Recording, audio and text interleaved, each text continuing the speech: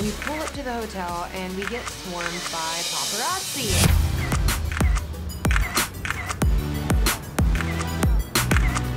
I didn't know that paparazzi could be like so aggressive and all in your face. I mean, I've seen it on TV, but when it happens to you, it's different. Welcome to the Haven rooftop at the Sanctuary Hotel. How the paparazzi downstairs? Were you guys like, what is going on?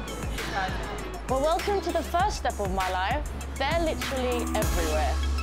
Every time I step out my door, it's like a wall of people. They're more in your face than a professional fashion shoot. You girls need to learn how to be natural in front of the paparazzi. So for your next challenge, you'll face the paparazzi again on your way out, and you'll be evaluated later on how well you take my advice. Celebrities used to cover their face and not want to be seen and hide from all that stuff. But now, we've learned to embrace that idea and actually use the paparazzi as free promotion. You might as well use them to help enhance your brand.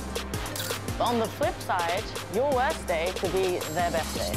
The key is to be confident, passionate, fashionable. Don't hide your face. Live your life like you want to be seen. It's like accidental modeling. The celebrity life is a scary one, and Rita gave us a taste of what it's like. No privacy, being followed all the time. It definitely takes some getting used to it. We've got a long day ahead of us of what would happen in my daily life. Are you guys ready to start? Yeah. Okay, come with me. Let's go and face those paps. After Rita gave us the advice, now I know that being a celebrity, you have to be on at every moment. So this time around, instead of having my hat forward, I turned my hat backwards. I think I could definitely get used to having the outside world be a photo shoot.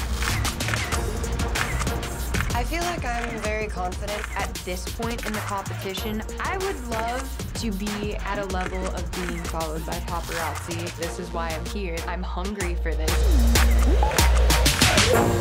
America's Next Top Model, Wednesdays at 10, now on VH1.